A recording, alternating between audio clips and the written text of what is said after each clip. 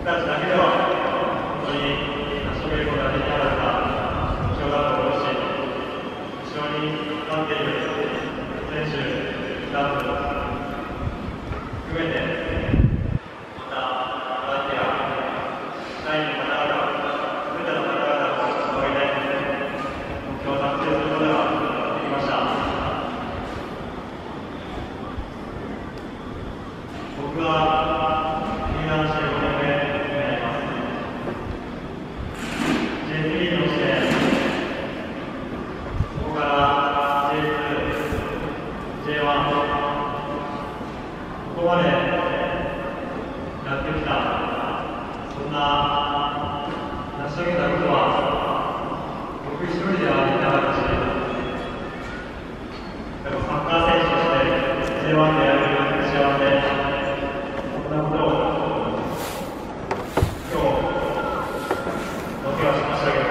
感じながらプレーしてましたまた来季大分が J1 に使えることはクラブにとっても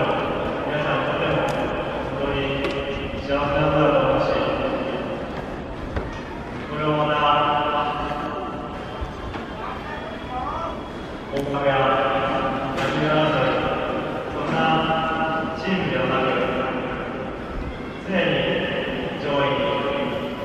いて学生や ACL 優勝争いそんなことを言えるチームに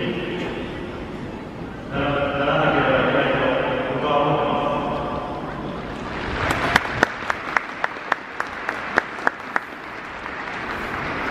地方のクラブだからそういう家ではなくて地方のクラブだからそういうことは僕はあると思います。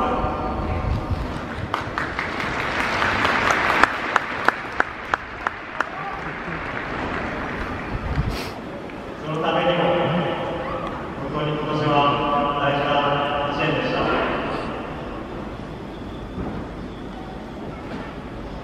皆さんのおかげでこうしてやってくれて本当にキャプテンとしてほっとしてます。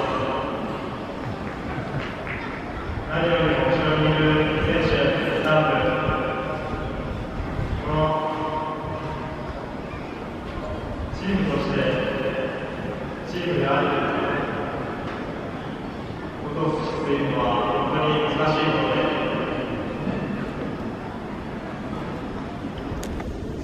と